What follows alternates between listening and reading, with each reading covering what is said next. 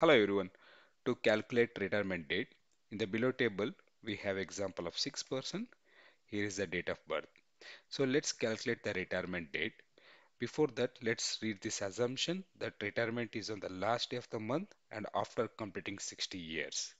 So to calculate the retirement date, I use EOM function and the first argument is the start date. So let's select the date of birth and then I take 60 because 60 years multiplied by 12 because 12 months in a year close bracket press enter we get the retirement date. Let's extend the formula. Now let's calculate the year left. For that I use year frac function.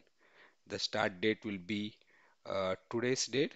I will use uh, today's function close bracket comma and end date will be the retirement date close bracket press enter and let's extend the formula